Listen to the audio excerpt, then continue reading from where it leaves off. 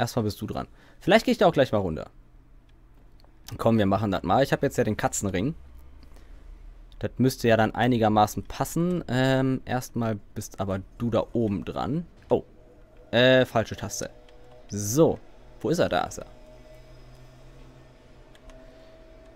So, die lassen dann meistens äh, grünes Moos fallen. So, zu welcher Stelle springe ich immer? Oh, ist gerade wieder so, ich werde gerade so geblendet von meiner äh, Softbox hier wieder, das ist auch nicht so geil. Guck mal, da ist noch ein Schmetterling. Verfaller Vendetta. Bam. So. Äh, Katzenring. Welchen brauche ich denn gerade mal dafür nicht? Nehmen wir mal den da kurz raus für. Ähm. Oder gibt es noch einen anderen Weg hinzukommen? Ich bin da mal nicht so ganz sicher. Guck mal. Da wird mir doch was angezeigt. Dann gehe ich mal nach da. Das war... Okay. Also das... Ah, ich weiß gar nicht, wo ich von hier... Aber von irgendwo komme ich da hin. Äh, also ich habe an sich äh, den Sprung ganz gut gemacht, weil ich überlebt habe. Ach komm, dann nehmen wir den Riesenbasilisten einfach mal so mit. Oder geben dem schon mal ein, zwei mit. Dann machen wir gleich eine Drop-Attacke drauf und dann passt das bestimmt. Ähm, was leider ganz schade ist, ich glaube, man kann mit dem beidhändig keine, äh, keine beidhändige Drop-Attacke machen, also mit der Power Stance. Was ansonsten ganz cool wäre. Aber nicht so relevant. Den kriegen wir ja auch so. Bam. So. Äh, Gegner. Ich wusste doch, hier ist noch einer. Also man hat ihn ja auch schon gesehen an der Fackel. Große Titanitscherbe, gut, brauche ich jetzt nicht mehr. Also noch nicht. Später wieder. Das Item da, ich weiß auch nicht, was das für ob die Items so relevant sind, die, die, die es da gibt. Ähm, oh, ist jetzt hier eine, ist jetzt hier eine Falle drin? Ne, gut. So, ich nehme mal kurz wieder den Ring der Wiederherstellung mit rein. Rickards Degen, okay, das ist also eine Deckswaffe. Gibt es ja im ersten Teil auch schon. Und kommen wir heilen uns mal kurz. Denn jetzt kommen wir auch gleich wieder da raus, wo, wo ich gerade vorbei oder wieder zurück umgedreht bin bei dem, bei dem Haus da. Eine große Seele immerhin noch, auch nicht schlecht. Nochmal schön, wie der sich freiwillig einfach in diesen Korb stellt. Wer weiß, was da passieren könnte. Ist halt Dark Souls, aber ja, Mensch, es äh, ist halt so. So. Ich weiß nicht, ob es hier sogar noch irgendein Item gibt oder nicht. Oder ob es wirklich einfach nur der Weg hier ist. Aber Pustekuchen. Ah, ich glaube, ich weiß, wie ich da auf den mittleren Steg komme. Und zwar, wenn ich jetzt gleich hier in das Loch runterfallen würde. Mache ich jetzt aber nicht. Oder mache ich das? Weiß ich noch nicht. Ich habe ja den Katzenring. So müsste hier nicht noch ein zweiter angelaufen kommen. Wollte ich auch gerade sagen. Komm her. Ich war schneller als du. Mit deiner komischen Drehattacke. Ey. Du hast nur ein abgebrochenes Schwert. Du kannst gar nicht so eine Reichweite haben. Äh, aufs Dach müssen wir eh gleich. Und ich meine hier, oder? Ist es dann hier? Ich weiß es gar nicht. Ich lasse es einfach bleiben. Wie gesagt, ich bin auch lange nicht so gut hier mit, mit, äh, mit der Welt äh, vertraut wie so in der, äh, bei Dark Souls 1. Und selbst da weiß ich ja noch viele Sachen nicht. Ähm, kommt ihr runter, kommt ihr nicht? Okay, dann nicht. Doch, da ist einer. Also der ist wahrscheinlich gerade der, der hochgeklettert ist. Ähm, dann gehen wir mal kurz aufs Dach, lassen uns fallen und ähm, kommen dann zum gleich zum Leuchtfeuer. Müsste, glaube ich, noch einer oben drauf stehen oder ist es der, der schon... Ne, wollte gerade sagen. Hä? Also der Bandit hier, der dürfte, glaube ich, eigentlich nicht mehr da sein, weil den, der ist ja eigentlich runtergefallen gewesen. Ey, ey, weg, weg, weg. Frech.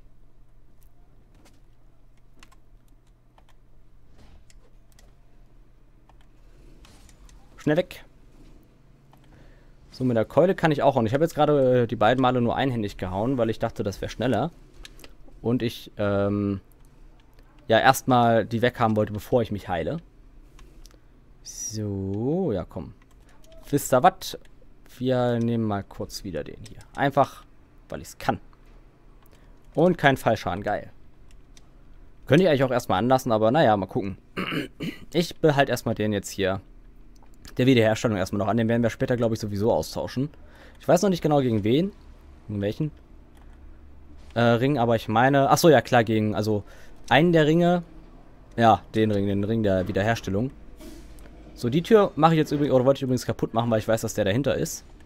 Oh, reicht sogar eine Keule krass. Oh, ich kann sogar das kaputt machen. Sehr verrückt.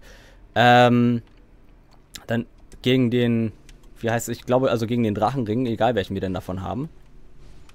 Das wird dann, erst, erst kriegen wir, glaube ich, den zweiten und dann den dritten.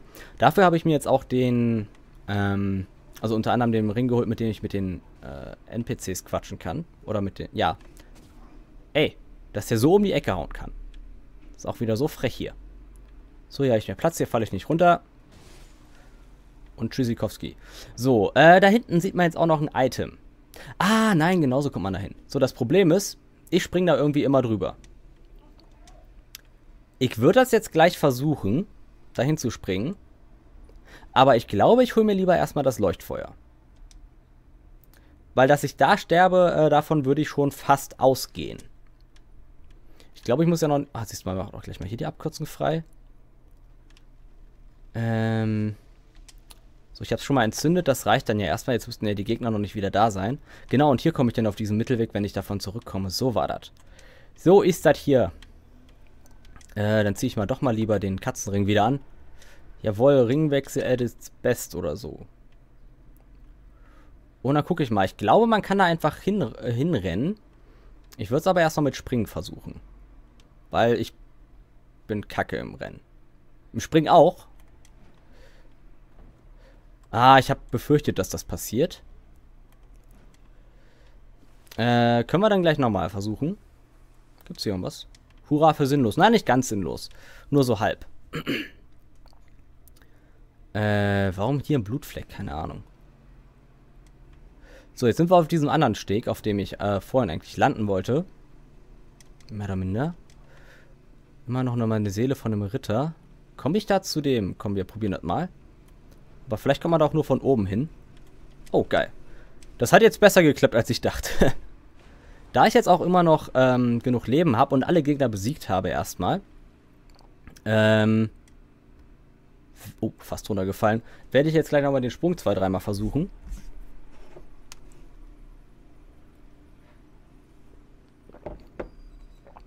Und dann mal gucken. Ähm, kann natürlich auch sein, dass ich jetzt einmal daneben springe. Ich werde es mal, vielleicht probiere es mal nur mit Rennen. Nein, ich muss ja trotzdem da, egal. Ich muss ja trotzdem übers Dach. Dann kann ich auch andersrum laufen. Ich habe gerade nur überlegt, ob ich vielleicht einfach direkt nach außen komme und dann über den Baumstamm laufen kann.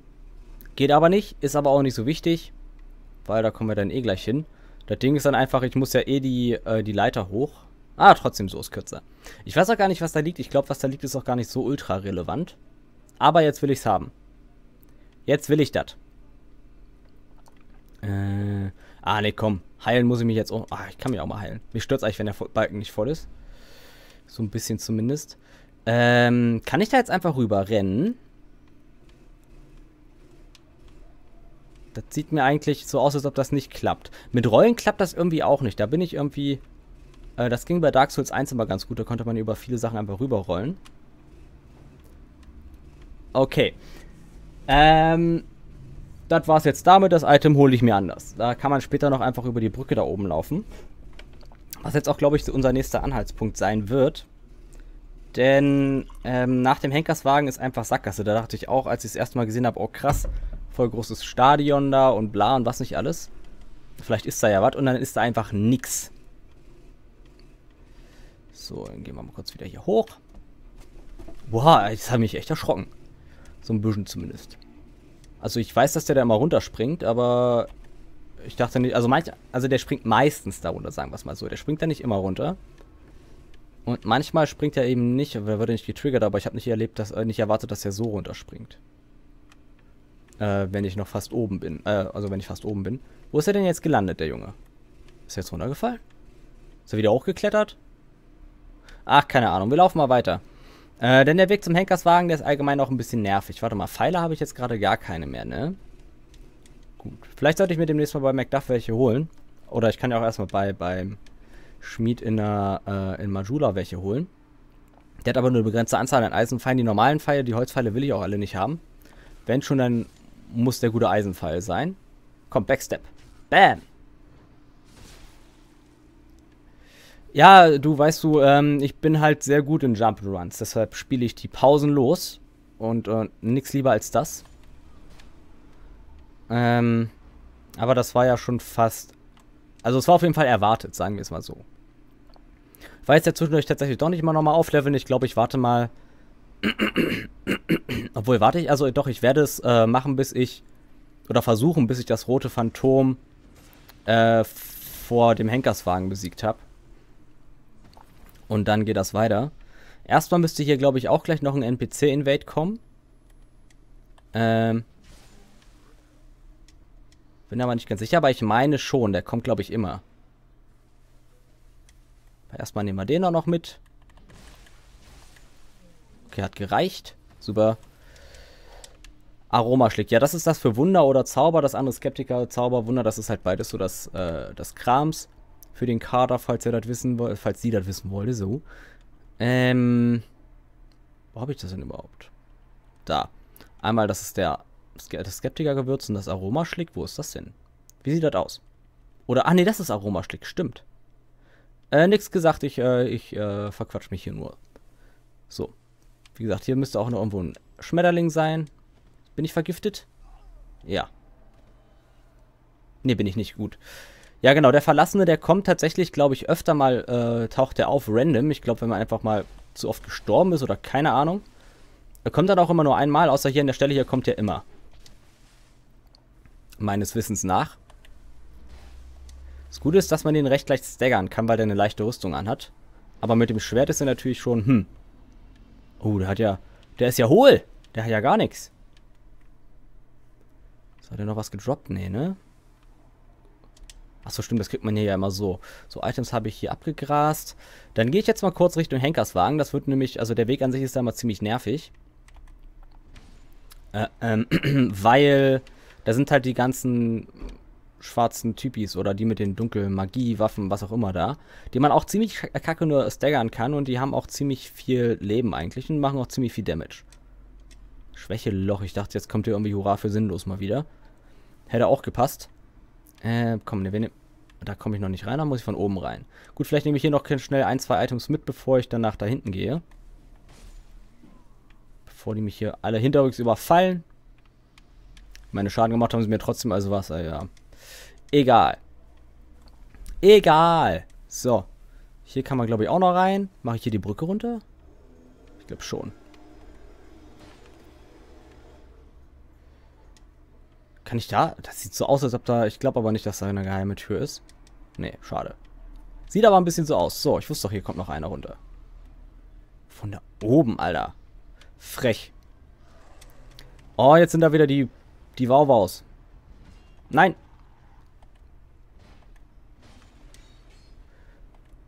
Ey, nicht abhauen. Das ist frech. Zumal du viel cooler zurückspringen kannst als ich. So cool kann ich nicht zurückspringen. So, ja, habe ich gerade vom Hund noch ein Menschenbild gekriegt, was ganz geil ist. Ne, da ist der, der Bogenschütze. So, du kriegst wieder beide zu spüren. Doch nicht umsonst meine Blitzkeule gemacht. Jetzt haben wir auf jeden Fall schon mal die Brücke frei äh, runtergelassen. Jetzt könnte ich auch noch zu den, oder könnt ihr schon direkt zu den... Hier, das ist auch so ein Arsch, ne? Der haut nur ab und lockt dich immer zu den ganzen Gegnermassen. Deshalb muss er jetzt mal sterben. Vielleicht auch nicht. Ähm, da könnte ich jetzt direkt zu den Grippefürsten gehen. Die sind auch. Ich weiß nicht, ich finde den Kampf ganz witzig eigentlich, aber der ist auch ziemlich einfach. Wenn man.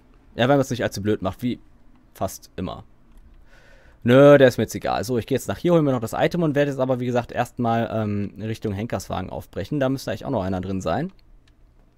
Vielleicht ist er aber auch schon rausgesprungen. Ach genau, hier war noch so ein Ritter. Irgendwas war hier doch, wusste ich doch. So.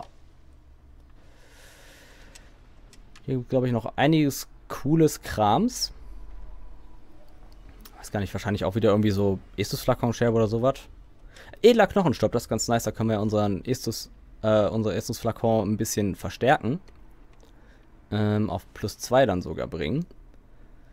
So, und jetzt fängt hier das fiese Kladderadatsch an. Hier ist, müsste eigentlich noch irgendwo so, so ein kleiner stehen, aber vielleicht ist auch schon rübergelaufen. Oh, oh, toll. Ich dachte, ich wäre weit genug weg. Das war äh, super. Mehr kann ich dazu nicht sagen. Und die sind halt wirklich ein bisschen nervig. Ich glaube, als ich... Ah ne, bei dem war das nicht, aber also hier...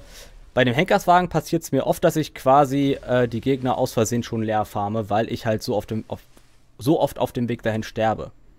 So, genau den hatte ich noch gesucht. Ich wusste, dass, dass da noch einer war. Ja, den Schmetterling kann ich gerade nicht mitnehmen, weil ich habe ja gerade ähm, keine Pfeile. Ich meine, ich habe bestimmt noch eine Armbrust, aber das lassen wir mal bleiben.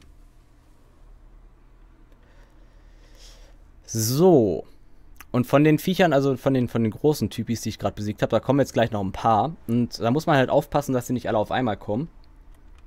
Wenn man ein bisschen Glück hat, kann man die so relativ einzeln pullen. Ich meine, die sind auch gar nicht so einfach, finde ich. Hm, aber in der Masse sind die natürlich noch schlimmer. So, erstmal hier noch ein Skelett. Das lassen wir mal kurz aufstehen. Nimm mal, Freund. So. Ja, gegen Skelette ist, glaube ich, Blitz nicht so gut. Aber ich glaube, Feuer wäre ähnlich nicht so gut. Keine Ahnung. Von daher ist das auch egal. Ich glaube, bei Skeletten ist es einfach am besten, wenn man mit einer, mit einer normalen Keule einfach drauf ballert. Und ich habe ja noch eine normale Keule. So, da ist der erste. Komm runter. Ohne dass der zweite kommt. Bitte, die, äh, der eine ist auch fies. Also, die haben verschiedene Waffen, wie ihr ja schon seht. Der eine hat eine Peitsche. Die finde ich auch immer ziemlich nervig. Kann ich den backstabben. Mach das dann komplett weg. Jawohl. Das reicht sogar schon. Das ist gut. So, jetzt kommt er mit der Peitsche mal runter, bitte. Ah, hier wäre es natürlich auch wieder gut, wenn ich jetzt Pfeil und Bogen hätte. Dann könnte ich die auch einzeln ranpolen. Los, komm. Wenn man jetzt hier nicht nur ein kleines Stück zu weit nach vorne geht, äh, dann kommen die alle direkt sofort angelaufen. Das ist dann nervig. So, kann ich nicht backstammen? Also, dass man das kann, weiß ich. Aber ob ich das kann, hat auf jeden Fall gerade noch gepasst. Das Gute ist, bei denen kriegt man halt ordentlich Seelen. Also, ja, 1000 Seelen pro einen, plus minus. Bei mir wird das ja alles noch geboostet durch den, jetzt kommen die bestimmt zu zweit an, äh, durch den Ring und äh, durch die Klamotten. So, nachdem sind da oben noch zwei so eine Typen. Ach, ich dachte, er macht gleich noch seinen dritten Schlag wieder. So. Dann war das schnell genug. Und der nächste. Also da steht noch einer und da oben links ist auch noch einer. Mal gucken, wer zuerst kommt. Ich glaube sogar der da links zuerst. Aber vielleicht doch nicht. Ich hab mich schon oft getäuscht. Ach, ist wieder ein, äh, ein Peitschen-Dude. Das krasse ist ja einfach, also, äh, man kann hier ja auch äh, bei Snuggly direkt am Anfang eine Peitsche kriegen. Für den, ähm, für das versteinerte Etwas. Und äh, hab irgendwie ein, zwei Mal mit der gespielt, aber die ist sofort kaputt gefühlt. Also die haben wirklich eine sehr extrem geringe Halte, Haltbarkeit, Lebensdauer. So. Komm runter. Komm runter. Da landest du. So, auch schon wieder ein Peitschendude. So. Ähm, jetzt kommt hier noch eine ein bisschen blöde Stelle.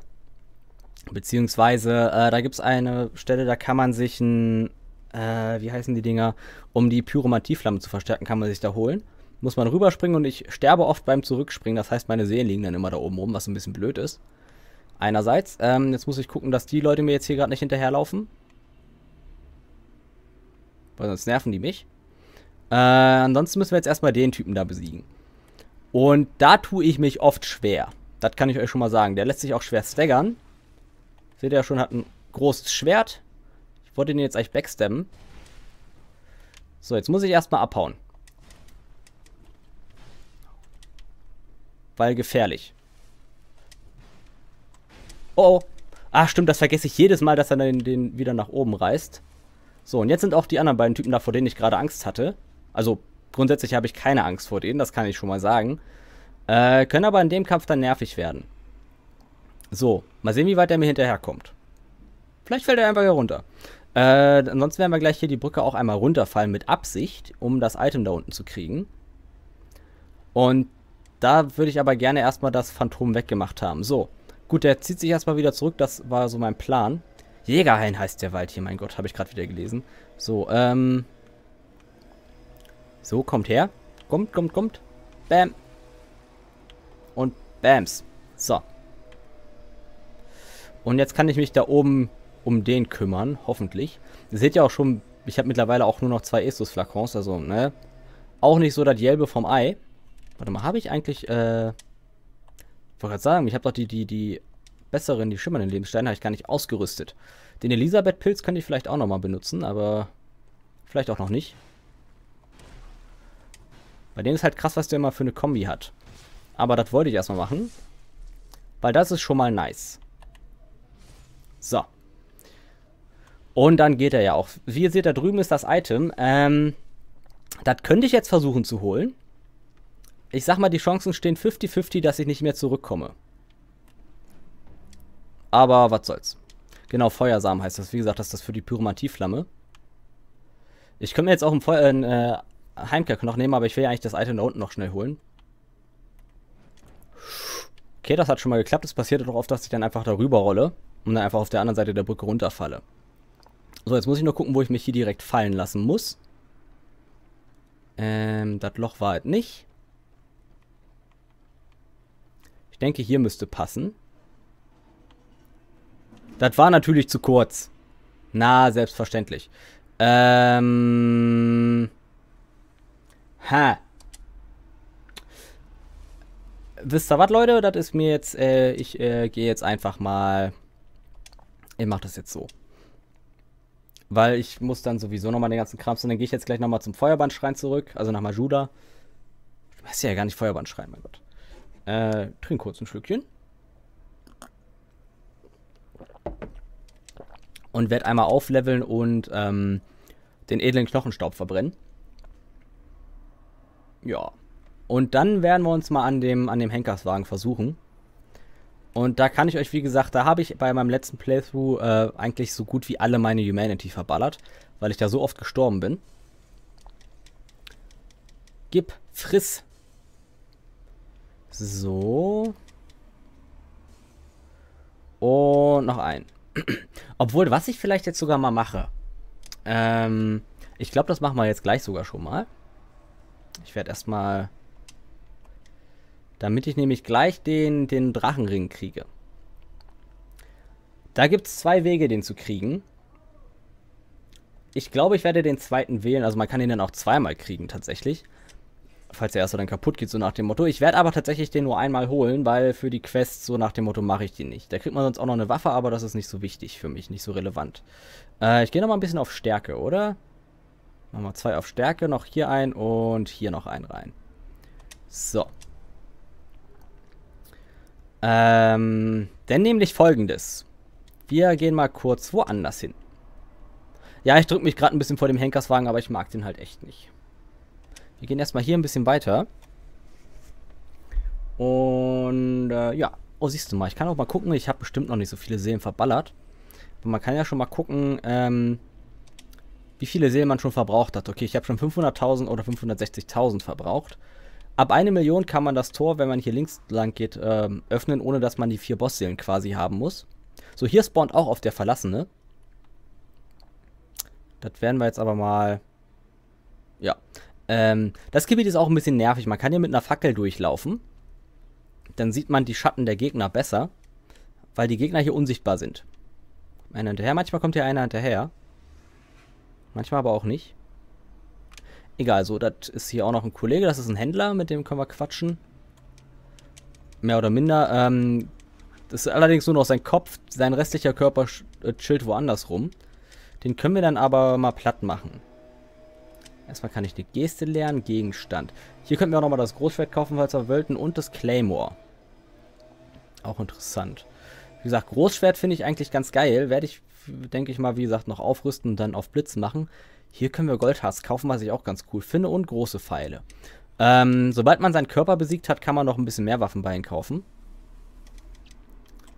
Aber dazu später mehr. Jetzt ja auch die ganzen Items so werde ich mir nicht holen, weil ich keinen Bock auf die ganzen unsichtbaren Typis habe. Es gibt eine Möglichkeit, die sichtbar zu machen, aber das dauert noch ewig, ehe wir das äh, machen. Da müssen wir erst ins dritte DLC. Und das ist ja noch ein ganz schönes äh, Stück hin. Ist ja auch jetzt bei der Scholar of the First Sin Edition, also die ich hier halt habe, ne? Ist, glaube ich, die normale für den PC. Ähm, hat man, äh, muss man halt die Items, um das DLC zu erreichen, muss man die halt äh, finden. Wenn man sich äh, damals Dark Souls 2 geholt und dann die Erweiterung später gekauft hat, dann ähm, hat man die einfach im Inventar gehabt. Dann konnte man einfach direkt ins DLC gehen, quasi nach dem Motto. Und was interessant ist, ja noch eine Seele gefunden, aber die werden wir später futtern. Ich kümmere mich erstmal um den Kollegen hier. So. Das Fiese ist halt, den kann man ja nicht anvisieren. Das ist das äh, hauptsächliche Problem bei den, bei den Unsichtbaren. Und jetzt werden wir noch kurz hier ein, zwei Sachen... Ja, komm, ich weiß, dass ich... Ich will da auch gleich runterspringen. Äh, bitte. So. Ja, so. Oh, der Katzenring hat mich gerettet. Geil. So, hier es kommt noch ein Ridderlein. Ein Riddersmann, ein, ein gar tapferer Riddersmann. Sollte mir trotzdem nie den Rücken zukehren. So. Ich weiß gar nicht, was es hier gibt. Gibt es da was Cooles? Gibt es den Duftzweig? Schade. Nochmal edler Knochenstaub. Krass. Ähm, also ich habe jetzt ja erstmal noch einen Duftzweig. Den würde ich jetzt aber gleich gerne direkt bei dem einen Typen da hinten benutzen. Und nicht hier. Aber hier müsste ich den auch oder von der anderen Seite, ist egal. Ähm, muss ich auf jeden Fall auch noch